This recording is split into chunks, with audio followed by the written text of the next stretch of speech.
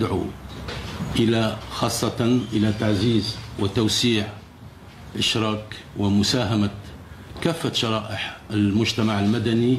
وكذلك أعضاء الجالية الجزائرية في الخارج لتعزيز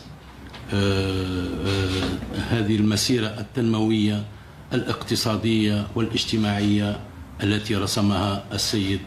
آه، رئيس الجمهورية الذي يولي حقيقة